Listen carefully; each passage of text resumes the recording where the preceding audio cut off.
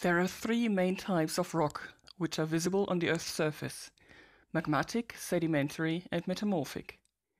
We're going to do some basic triage and see if we can classify a rock sample. I have selected a large sample, about the size of a fist, so that it is representative and will show any larger scale details. It also has a very fresh surface, without weathering or dirt. This rock feels not too heavy, so the density is probably about medium. It is hard and not friable. I cannot split or break it by hand. Now the visual inspection.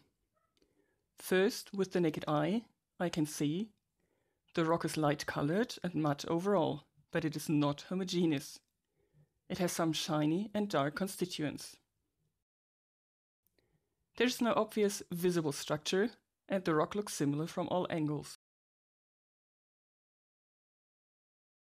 Looking more closely at the constituents, we can see that they are all generally between 1 and 5 millimeters across. Let's get a closer look at those constituents under the hand lens. Immediately I can see that the visible constituents touch perfectly and do not have any other material between them. They are distinct and some have recognizably geometrical shapes. This indicates that they are minerals and will help us to identify them. Black minerals appear on the surface as large, shiny, near hexagons or as small, thin needles. This tells us that the crystalline shape of the mineral is a hexagonal flake. They are distributed through the material in all orientations. This is black mica or biotite. There is another shiny flake mineral present, which is paler in color, translucent and silvery. Its pale color makes it harder to see when it is edge on to the surface. This is white mica or muscovite. Much of the remaining space is filled in with a matte white mineral.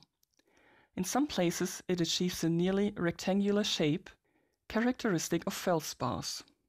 The final mineral is a translucent gray, which is for the most part irregular, but occasionally shows the hexagonal polygon cross-section of its crystalline shape.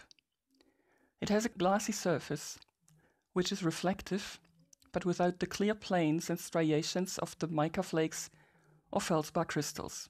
This is quartz. Now for our conclusions. Because the rock is entirely composed of minerals which have grown together from magma, it is a magmatic rock.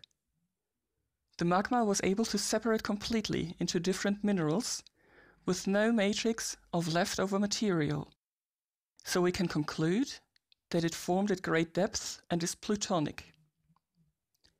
Because the rock is made up of mica, feldspar, and over one third quartz, we can identify it as a granite.